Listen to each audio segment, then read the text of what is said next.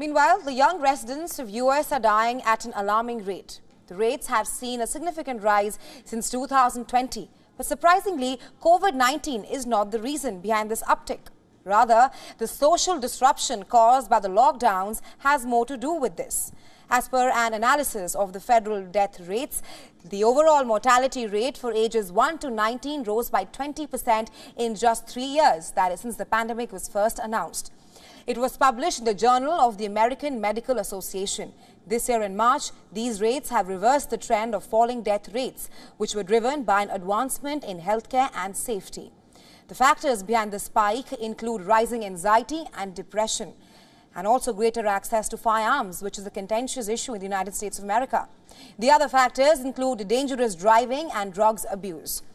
Meanwhile, as per the data, COVID-19 accounted for just one-tenth of the rise in mortality among the young people in 2020 and one-fifth of it in 2021. Coming to the worst part, experts say that the end of the pandemic is unlikely to reverse this uptick. They say these problems will persist as long as mental health issues and access to arms continues in the United States of America.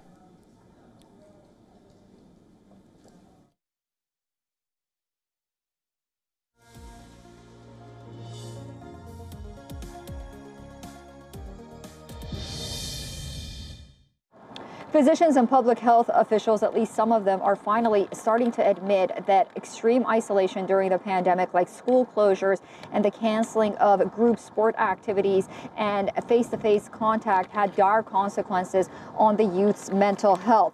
Social media really fueled that crisis by replacing interaction with the desire to be liked online. And then there are some apps that continue to promote things like suicide and eating disorder. The rising mortality rate among U.S. children between the year 2019 and 2021 represented a profound crisis. And now new data shows that one in 25 American five year olds will not reach their 40th birthday. Susan Tehrani reporting from New York for WION World is One.